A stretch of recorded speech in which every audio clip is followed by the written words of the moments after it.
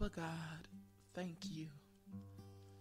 Thank you for granting us more strength today than we had yesterday.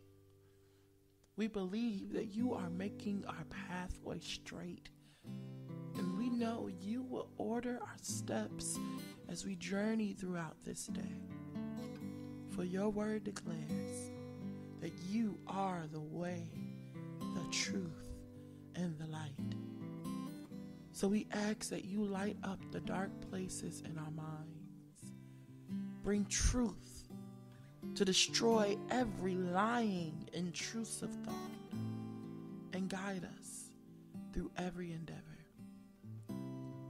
Father, make your word plain to us today and allow our hearts to truly comprehend your written and spoken word bestow on us the creativity and the gumption to conceptualize and implement the words and promises you have resounded inside of our spirit.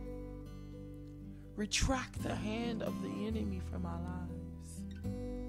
In this moment, we extend our shield of faith that is your Son, Jesus Christ, to divert every fiery dart of doubt, shame, and deceit. We commit today to learn your word and come into agreement with your promises. God, we bless you. We honor you. We exalt you above all our circumstances, above all of our hardship. Father, we ask that you build up in us a new level of strength and a new level of courage. Joshua 1 and 9 tells us to be strong and courageous. So, Father, help us to be strong in ourselves. Help us not be wavering. Help us, God, hold on to you when everything else around us is topsy-turvy and chaotic. Father, help us be courageous. Help us be brave. Help us be confident in knowing that you will grant us victory after every fight, after every test, after every encounter with people.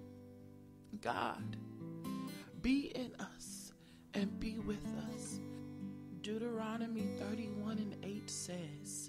Do not be afraid or discouraged, for the Lord will personally go ahead of you. He will be with you.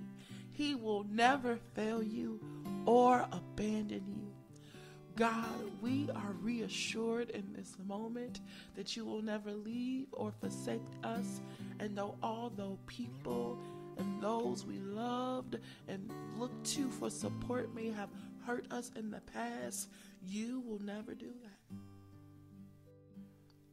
So, knowing you will never abandon us, God, we simply say, we trust you.